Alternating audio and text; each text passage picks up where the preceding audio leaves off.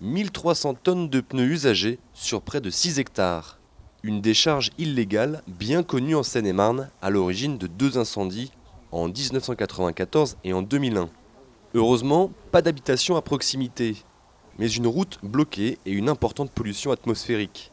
En cause, l'entreprise Dodu, qui n'arrive plus à revendre ses pneus d'occasion face à la concurrence asiatique. Du coup, les pneus ne transitent plus, ils s'entassent pendant près de 20 ans. Et cela malgré les menaces et procès. Il y a eu des arrêtés préfectoraux, tribunal correctionnel et tout. Et ça pas... On en est arrivé à ce résultat. Monsieur Dodu est décédé il y a quelques années. Et puis, ben, ça en est resté là. Quoi. Donc, plus personne n'est responsable. Le site est orphelin. Mais ce n'est pas un cas isolé. Plus de 60 sites similaires sont recensés sur le territoire français.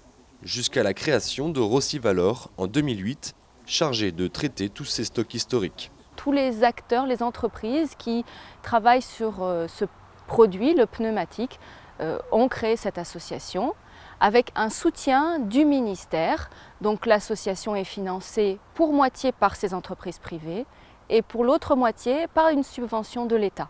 Ce chantier, c'est déjà le 25e que l'association prend en charge et la note est salée, environ 210 000 euros. Les pneus sont répandus épars dans toute la végétation. C'est un petit peu ce qui fait la difficulté de, ce chantier. Depuis une dizaine de jours, euh, on a réussi à enlever 32, 32 camions, soit 3200 mètres cubes pour environ 600 tonnes. Et il faudra 6 à 8 semaines pour tout enlever, près de 10 camions comme celui-ci tous les jours.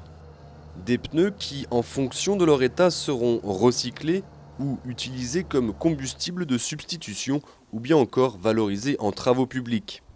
Il reste encore une trentaine de chantiers similaires. Ils devraient être traités d'ici fin 2014.